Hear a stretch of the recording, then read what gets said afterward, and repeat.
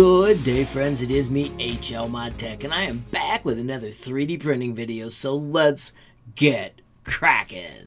Friends, it occurred to me that I do not have a specific Cura video for setting up the A10T.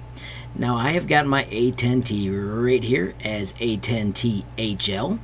You can see that when it launches, I have got eight virtual extruders. There, there are three for the mixing part and then these are virtual extruders. I want to show you how to make this. So friends real quickly let me go down here to manage printers. And if we do machine settings here are the numbers I want you to know. I have 230 230 and 250 for my measurements. Rectangular of course heated bed.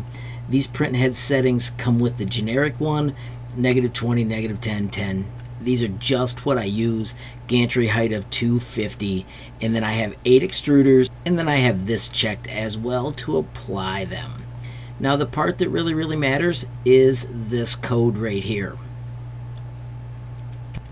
These are the virtual extruders where the first one, T0, is going to equal blue. The second one, T1, notice it has 100% on the second it's going to be yellow. This is just a comment that I've added so that these make sense. And the last one is red. I load it with blue, yellow, and red so I can make other colors. So for the next extruder, which I call Virtual Extruder 4, I'm doing 0.2 of the blue, 0.8 of the red, and it gives me a purple. So these are settings that you can adjust as you make your own virtual colors to set up your A10T. Now, real quickly, I have hidden that one and I want to show you this. If you click Add New, Non-Ultimaker, go down to Non-Networked and find Geeetech, there is a A10T and you can add it. Now, I already have, and it's right here. And I'm going to click on it and do Activate and I want to choose machine settings so I can show you the problem. So let's start right here. It's using 220. It's using 220 for X and Z. Now 220 could be X and Y. I've seen this debated for a long time whether you should do 230 or 220. I've been working with 230 forever and then also I use 250 for my Z. Notice it does not have the heated bed.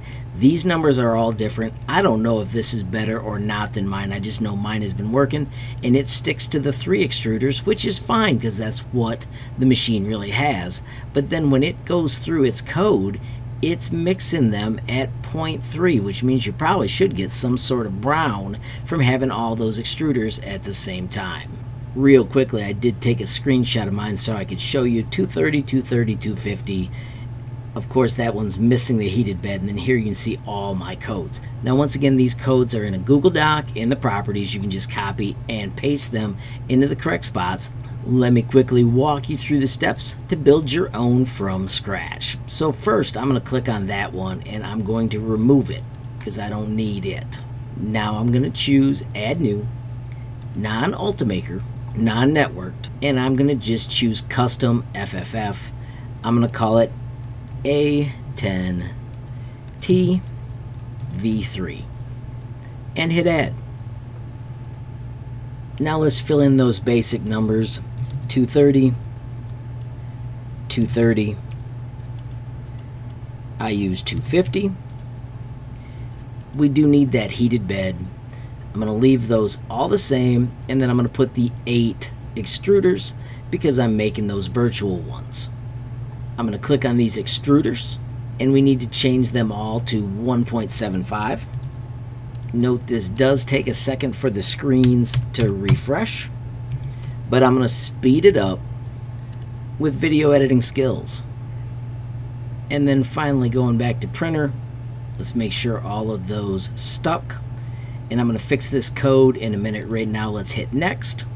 And now we can click on machine settings to bring them back.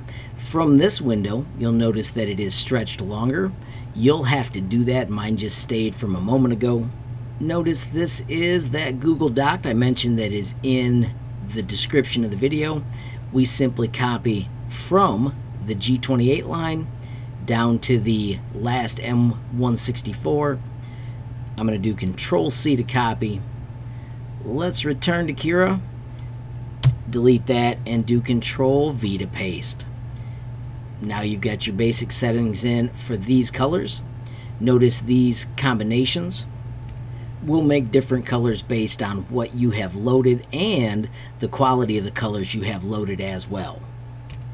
And then finally I'm going to grab the last encodes, right click copy or control C, return to Cura, and this time I'm going to just show you the difference.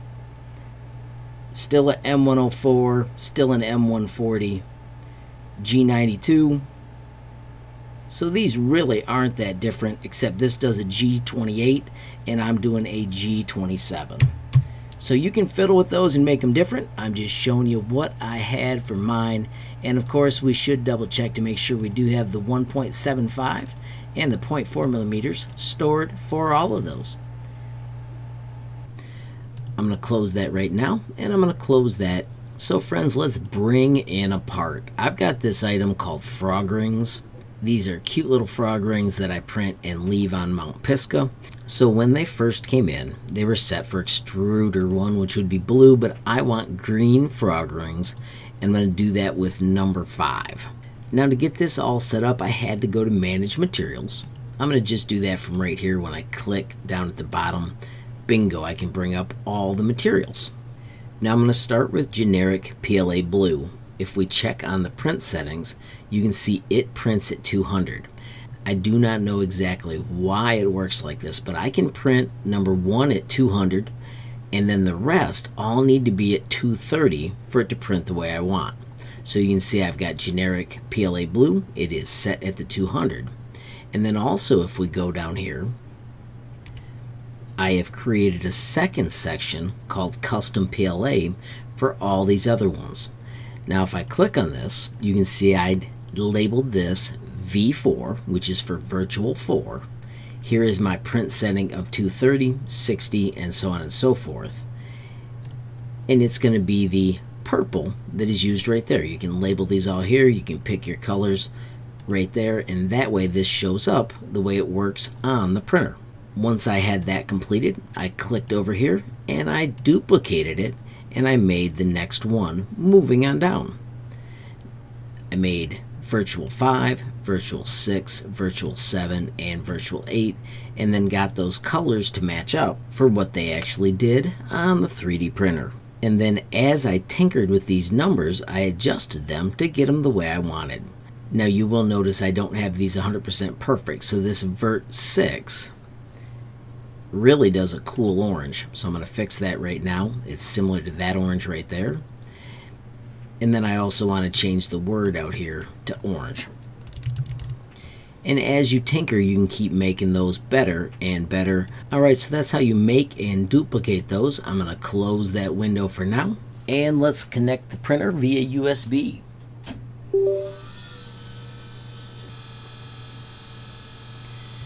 Bingo that is now activated the print via USB. Now we've got our parts set and we've got the printer connected. If you want to see my settings, I always do 0.3 layers. We've got 1.2 for the walls, 0.8 for the top and bottom thickness. I'm going to make the infill 20%. And then notice down here, it does not have the correct material. Let's make sure that we're switching to number 5 we do want to be printing with that one right there. So bingo, now it shows the 230. And then also when we go down, I'm using a speed of 60, retraction is on. I want skirt, but I want extruder 5 to be that skirt. I also want you to know that I use 6 lines and a skirt distance of 10, and I found that purges the prior color pretty darn well. Friends, of course, when it's done slicing, we can send it to the 3D printer.